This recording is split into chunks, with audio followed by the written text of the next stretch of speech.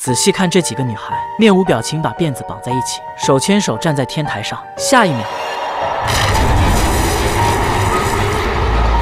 这诡异的领盒饭事件还得从几个月前说起。小帅在车库巡逻时，看有辆车子超速，拦下车主，开了张罚单，发现车子尾灯坏了，让他找下螺丝刀，自己帮忙修一下，却看到渗出来的鲜血。打开后备箱，一具血淋淋的女尸映入眼帘。司机立马对小帅的四肢连开好几枪，怪他多管闲事，害自己多条命案。就在司机要把他给了结时，后备箱有了动静，原本应该凉透的女尸又坐了起来，场景异常诡异，司机也吓傻了。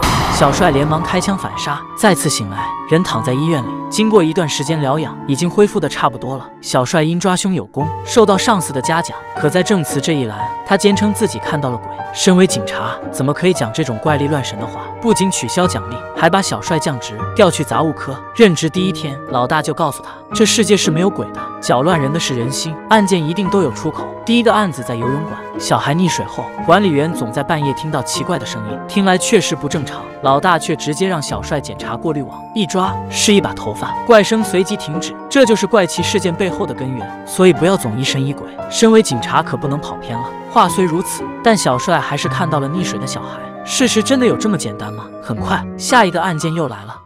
女孩用红绳缠紧自己的脖子，还开心的拍手叫好，因为她要把自己给吊死。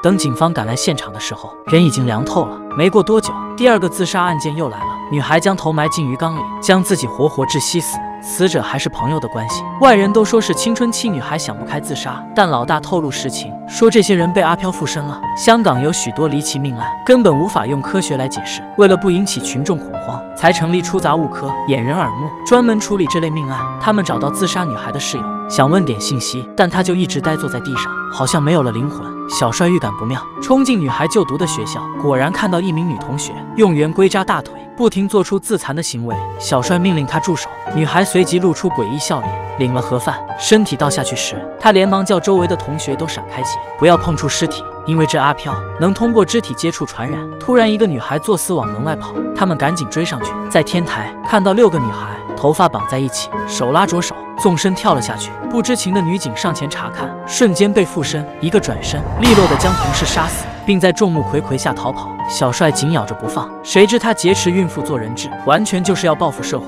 不顾他人苦苦哀求，朝孕妇开枪后逃走。他上前查看情况，却正中了阿飘的圈套。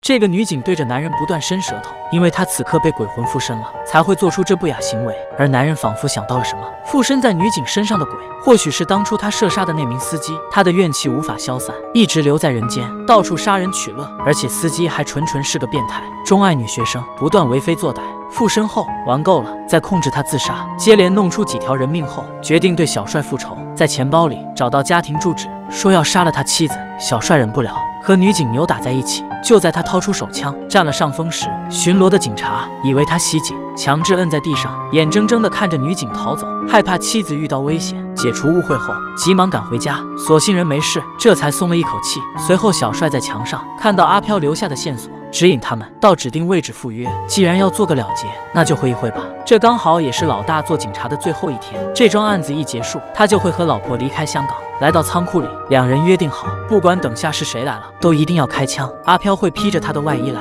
不能被迷惑住。就算是他们自己，也不能手下留情。谁知来的是老大妻子。小帅要开枪，他心软了，命令他放下手枪，还和妻子共舞一曲。证明他没有被附身，透过镜子也能看到人影清晰可见，确实没有问题。但就在他松懈的那一秒，阿飘还是附身到了老大的体内。